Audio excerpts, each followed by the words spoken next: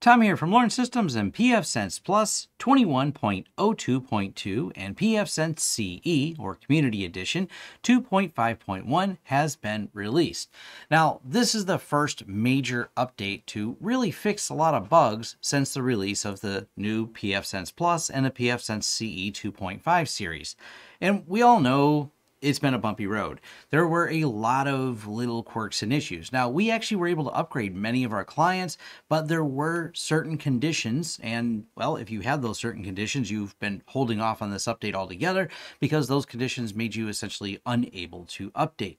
So let's talk about all the details. What is changed in this new version? And some of the major changes are really just the removal of WireGuard, as they said in their own words here, out of an abundance of caution, the kernel WireGuard implementation has been removed from these releases. That is one of the first things that really should be addressed. Yes, WireGuard has been completely removed currently from pfSense. I have no idea, although people like to ask me on Twitter and comment on my videos about, do you know if it's coming back? I assume at some point they will. I don't have any direct line of official statement from them other than what they post on their blog that I am reading to you along with the update. Head over to Reddit r slash pfsense and you can see posts they do there. You can head over to their forums. They talk about it there or their blog, which I'm reading from. So I don't really know how to address it, but one important thing before you do these updates is going to be that you remove WireGuard and all WireGuard configurations prior to the update. The update will actually fail if you don't, so that's really important. And as always, before you update, make sure you have a backup. Make sure you have a downloaded copy of pfSense CE or a ready image so you can get the image of whatever device you may have from Netgate. You want to make sure you're prepared for these. This is often people get into a panic because they just hopefully assume the update will go well. Also, prior to update, reboot the system once. That's just a generally good idea. Reboot it once, make sure it boots back up. That way you're only dealing with one issue. If you reboot it and it doesn't come back up prior to update, well, you have another problem that you need to address. And if you would have updated and then rebooted, you would have only found that problem and assumed the problem was because of the update. This actually just happened recently, so it's worth noting. Back to the actual changes of what is different now and more specifically, what's fixed. So the big difference, WireGuard, what's fixed. I actually want to jump right on this one. This is one of them that hung us up from updating a couple clients. And this is the non-default WAN routing issue. And I was so happy to see this issue fixed. This was, like I said, one of the problems we ran into with the client that has, you know, as one does, some special use cases and slightly different setups. And they weren't just using the WAN for a failover, but that has been resolved. So that part made me really happy. Of course, the next thing is, what about DNS stability? Do I have to deal with that crashing? Now, this is a little bit less of an issue for some of our business clients because they're in Windows environments and Windows environments require or to properly get them working require that you have Windows be the DNS server for Active Directory. So this wasn't always an issue in those environments. And the workaround, the band-aid on it was to use the Watchdog service to tell DNS to start every time it crashed, which seemed to be very frequent on some systems and less frequent on others, but nonetheless definitely a problem that issue has been resolved. Now, we only loaded this the other day, so this is a day after the release. We did load it on our production systems. I've loaded on a handful of System our Lab, and so far, none of them have had a problem with the DNS crashing. So cross your fingers, hope that's fixed, but so far, so good. If you want to continue waiting, and if there's some reason that it does fail, yes, I will probably do an updated video or follow me on Twitter, and I'll certainly be mentioning it or filing a bug report on this. They also updated to the latest OpenSSL to address some of the CVEs that are out related to that. And the IPsec tunnel identifiers and a couple other issues with that. So there was a issue with this that I only ran into a couple times where they wouldn't work when you did the upgrade. It broke some of the IPsec tunnels. You could rebuild them, but there were certain conditions that would uh, cause issues. All of that's been resolved, so now I guess it should work perfectly fine for doing an update from the version 2.4. The thing is, anyone that we had that had this problem, because we fixed and rebuilt the tunnels, uh, it didn't really matter, so we can update those systems and the IPsec tunnels should keep working. So those of you that held back or upgraded and rolled back, now you should be able to do that.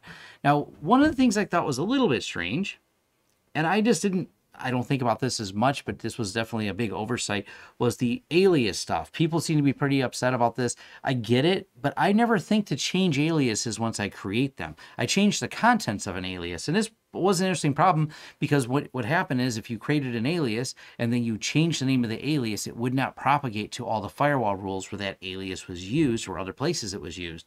So you should create an alias. I would normally, as I said, create an alias and not ever change the name of it because we'd purposely name the alias as part of the firewall setup when we're doing this for a client.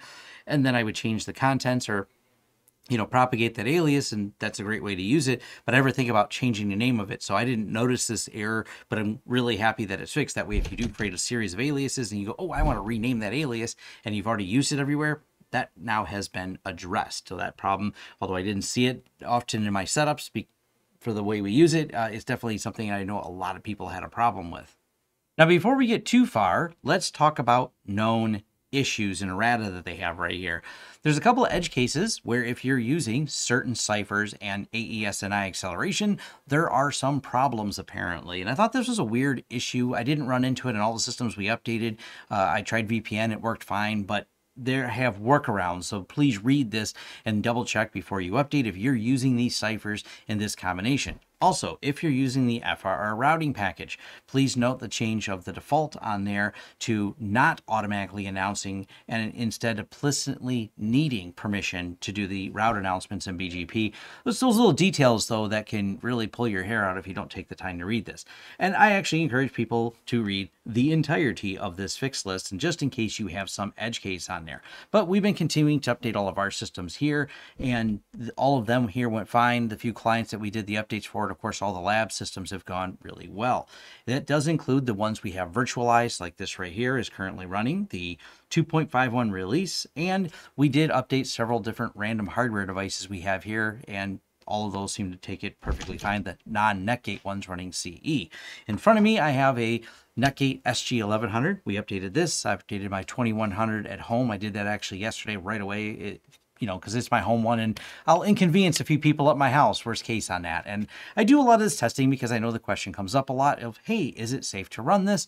And people say, you know, I wait for a few people to tell me that are you know posting actively into forums or Tom to do a video on this. I've already had a few people message me on Twitter like, "Hey Tom, is it safe to upgrade?"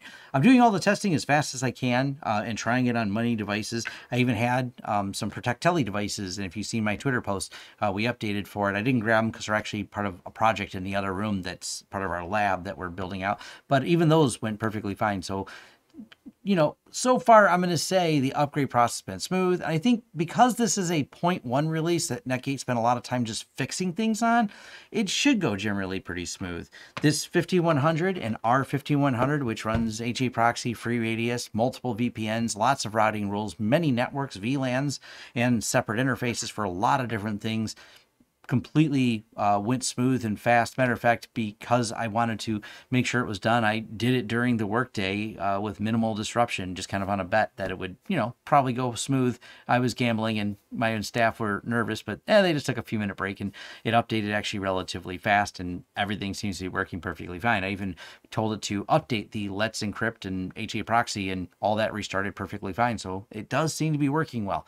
But of course, it depends on how adventurous you're feeling. Always do a backup first before you update.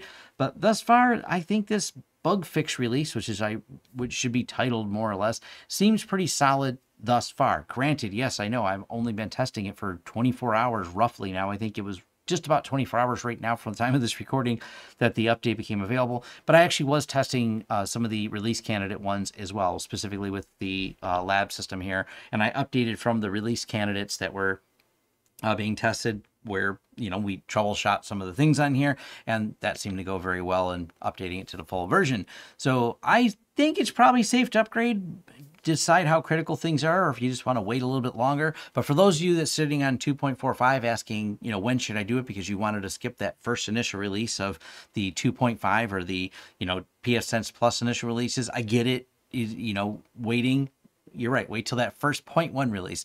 And this isn't just a Netgate problem. This is, well, many companies that have done things like this. Sometimes their first release of a major release is not, uh, not a lot of fun. It's for adventurous people who want to file bug reports and head over and you know, document what went wrong because, well, this is a community project still, and community contributions back to it are what helped get this project moving forward. Letting them know those edge cases and what they missed when they wrote these updates, which apparently was a lot as we see all the things that got fixed there. But hey, this is the way forward. And uh, yeah, if you want to update it, go ahead and thanks.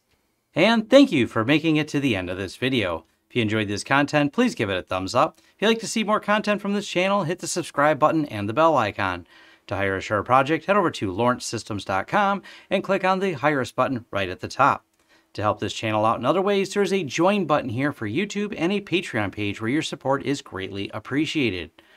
For deals, discounts, and offers, check out our affiliate links in the descriptions of all of our videos, including a link to our shirt store where we have a wide variety of shirts and new designs come out, well, randomly, so check back frequently.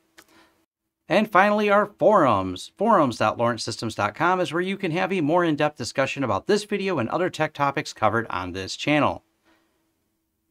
Thank you again, and we look forward to hearing from you. In the meantime, check out some of our other videos.